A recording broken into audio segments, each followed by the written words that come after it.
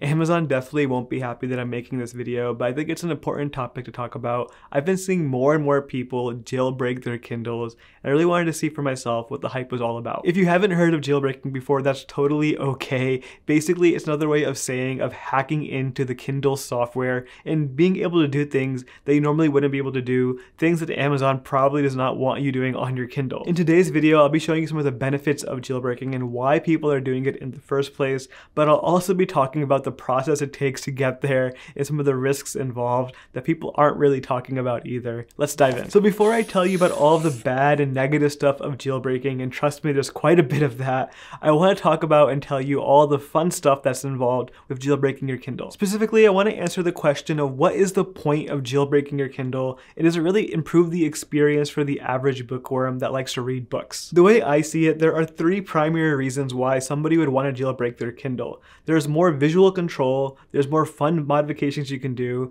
and of course, there's actual EPUB support. Now, the most popular reason why I see people jailbreak their Kindles is for the more visual control. Having more available font settings and options and the way you can customize the experience, the way things look when you read a book. For example, on a jailbroken Kindle, you can do things like extend the margins across the entire width of the screen. You also have much more granular control over the font size and spacing, all of this is not available on the normal Amazon software. You also have some more fun options like being able to switch to a continuous scroll mode and to swipe up and down instead of going left and right like new pages. This is actually an option available on the Kindle app, but still not available on the Kindle e-reader yet with the normal software. And I also love this ability to add a progress bar to the bottom of your Kindle to see how far you are into the book. For some people, these small little extra features make a huge difference in the reading experience, especially if you're visually impaired or have special settings settings that you need, having these extra granular controls make a huge difference for you. And I'm honestly surprised that Amazon has not offered these features natively yet.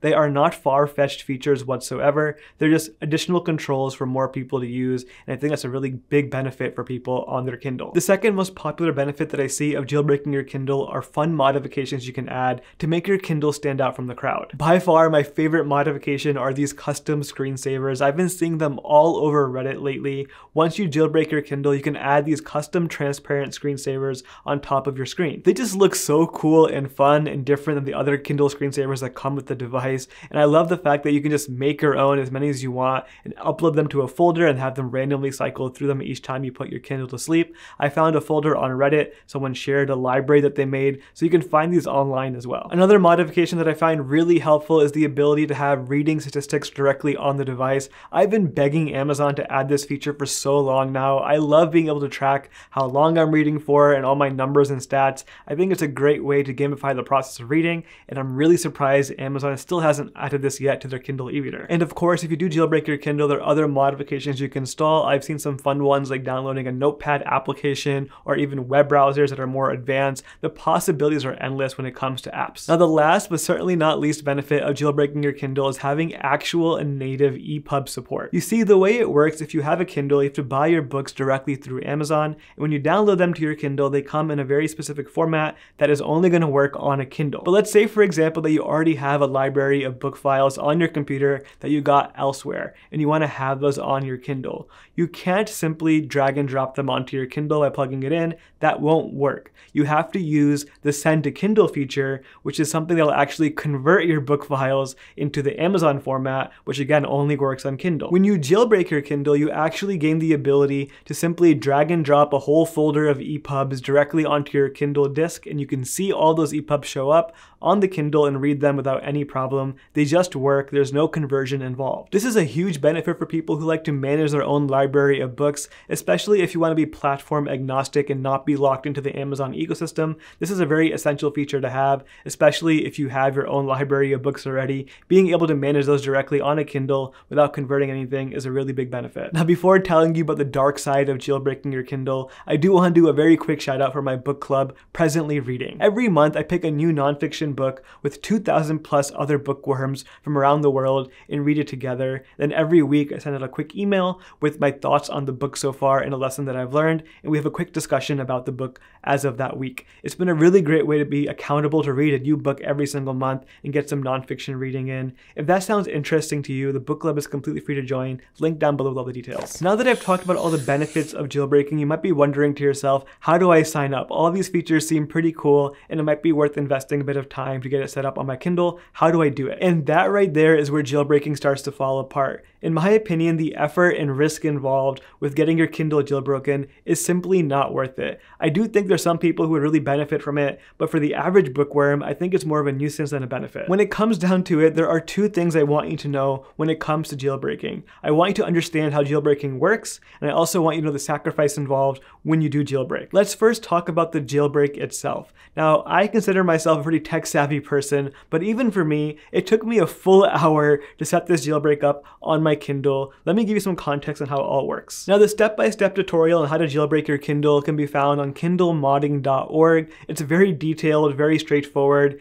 but there are a lot of steps. And on top of that, oftentimes the steps don't work as expected, and you have to go through the other troubleshooting steps to fix those issues. In a nutshell, jailbreaking your Kindle actually involves doing several different things all at the same time in a certain sequence. The first step is actually installing the jailbreak itself. Now, doing this step might not even work for you depending on the Kindle that you have and the software that you're running. You see, Amazon is always trying to patch these jailbreaks and prevent people from doing them, so if you're running the latest Kindle software right now, the jailbreak is simply not compatible compatible with your Kindle. You have to be running a slightly older software or have an older Kindle. Once you do install the jailbreak though, there are several other steps after that. The next one is installing the app launcher called KUAL. I'm not even sure if I'm saying that right, but this is a thing that actually lets you install apps and have those extra modifications. Once you install the app launcher, the next step is to disable the over-the-air updates that your Kindle automatically gets from Amazon because you don't want your jailbroken Kindle to be getting an update from Amazon that might completely brick your Kindle. And a quick note about that, if you ever decide later on that you want to unjailbreak your Kindle and factory reset it, you have to remember to go back and undo this step. Otherwise, your Kindle won't get updates anymore. Once you do all of these steps, you can finally do the last step over here of installing the application or extension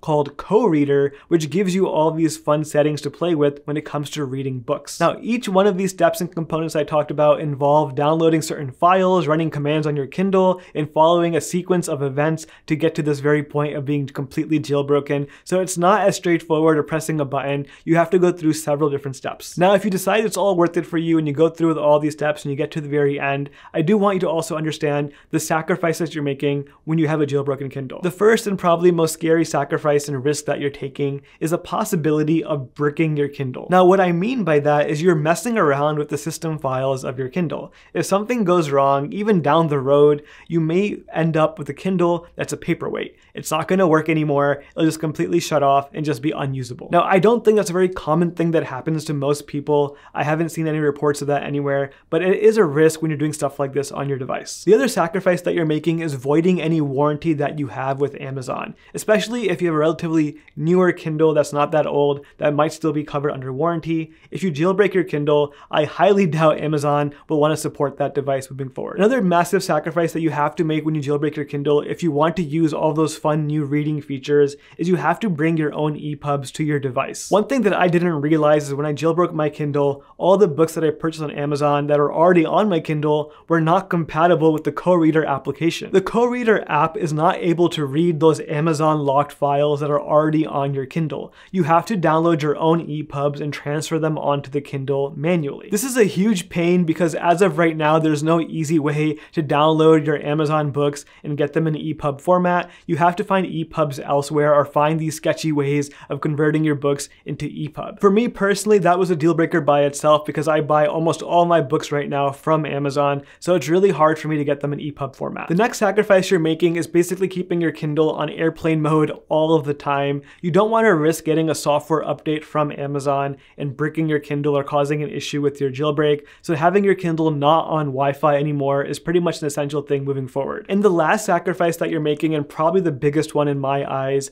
the fact that jailbreaking your Kindle is probably the biggest distraction you can do for yourself to take you away from reading books. At the end of the day, I think jailbreaking your Kindle will be a benefit for a lot of people, but I also know for a fact it'll be a huge investment of time. And I really want you to reflect, do you really need all these extra fun features? Will they actually make a difference for your reading? If you want my take, I think jailbreaking could be a fun thing to do if you have an old Kindle lying around, but if you just have a newer Kindle or one that you use all the time when you buy books directly from Amazon, it certainly is not something you have to do. If you enjoyed this video and you are considering jailbreaking your Kindle, I want you to watch my other video that talks about Amazon's recent decision to stop allowing people to download books from their website. That will directly impact your ability to get books on your Kindle. Link for that on the screen right now. Thank you so much for watching. I'll see you next time.